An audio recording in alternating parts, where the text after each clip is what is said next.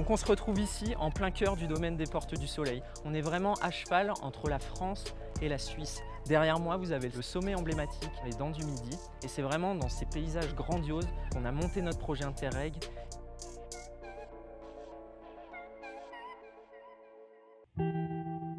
partenariat franco-suisse aux Portes du Soleil, c'est donc déjà plusieurs stations qui travaillent ensemble. C'est pas nouveau, elles travaillent depuis des années. Notre objectif, c'est de faire circuler nos clients dans l'ensemble des Portes du Soleil, de passer de stations françaises à stations suisses. Et aujourd'hui, on est vraiment sur du renouveau estival. Voilà, en sachant que les Portes du Soleil ont toujours cherché à, être innovants en la matière, et puis ils ont toujours voulu, on a toujours cherché à dynamiser l'été.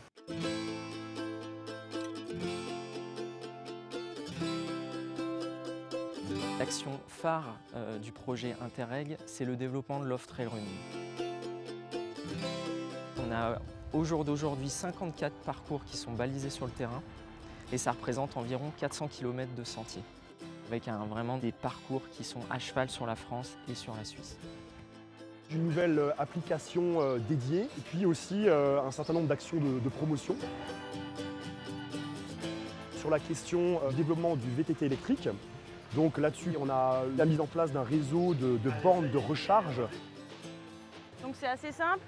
On vient euh, poser son véhicule électrique ici et on va le recharger à l'aide des cordons qui sortent des stations. Donc celui-ci par exemple ou ceux d'à côté.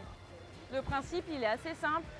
Un panneau solaire qui recharge euh, des batteries, qu'il fasse beau ou qu'il fasse pas beau, la station euh, elle recharge dans tous les cas. L'été, avant il y avait très peu de gens. Les retombées pour l'ensemble des acteurs économiques de la station, je dirais, ont été très favorables. Donc les hôteliers font le plein, euh, les restaurateurs, les terrasses sont chargés. Donc ça veut dire qu'il y a une économie qui s'est constituée, qui s'est créée. Voilà, nous sommes ici au col de Bassachaux. Nous avons développé avec les Portes du Soleil un observatoire de la biodiversité. Les activités euh, sportives vont avoir un impact sur l'environnement. Donc là, nous allons avoir un certain nombre d'inventaires qui vont être réalisés, euh, que nous soyons en mesure, euh, en amont, quand par exemple Châtel va envisager un nouvel équipement, eh de dire est-ce que l'emplacement qui a été choisi ne va pas trop nuire à la faune, à la flore qui est présente à l'ensemble de la biodiversité.